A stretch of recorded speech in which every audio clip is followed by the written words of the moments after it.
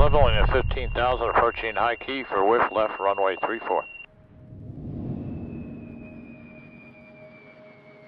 Copy. Sending 12 call one there.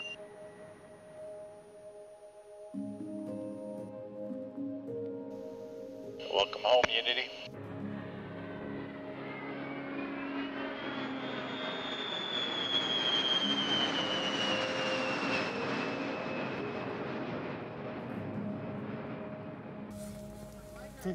Good, Dwayne. How are you today? Hopefully, we have a good day to fly today.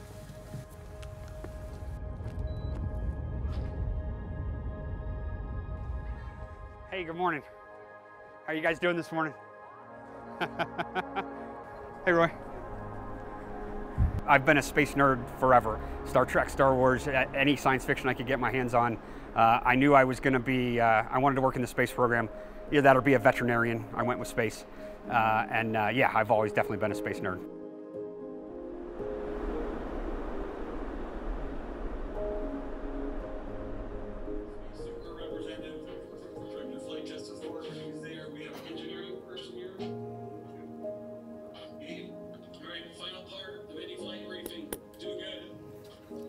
Today is definitely not a typical day here.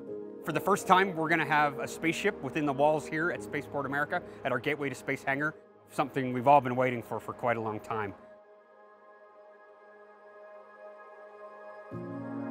The arrival of Spaceship and White Knight 2 from Mojave, California, where they were born and tested, is a graduation of sorts for the program. Uh, the flight from Mojave was just about over three hours in duration, piloted by Nicola Pecile, Dave Mackay, CJ Sturckow, and Mike Masucci. Spaceship has traveled to space, and now it's crossing state lines, uh, traveling here from its birthplace back in Mojave, California. Currently 200 at 7 knots, altimeter 3008.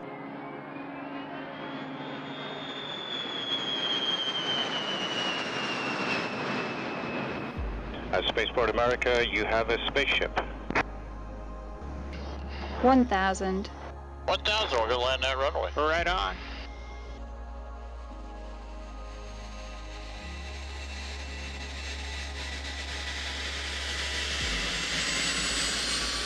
Spaceport traffic, uh, Galactic 02 has got a back taxi uh, down runway uh, 16 and uh.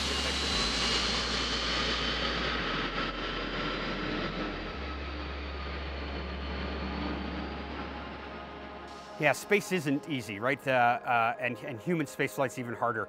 To me, it's, it's worth it. When I see Spaceship, I think about the future we are building here, and I see the sacrifices we've all made to contribute to this mission. Being here to greet her when she arrives is a real special treat for me. New Mexico is really a perfect home for commercial space. It has a rich history in space travel, going back to the start of rocketry here in the United States. It gives us fantastic access and unrestricted airspace to operate our spacecraft. When I think back to a little over three years ago at our first captive carry flight for Unity back in Mojave, I said, we all have a dream to make this thing a reality. And here we are. It's finally a reality.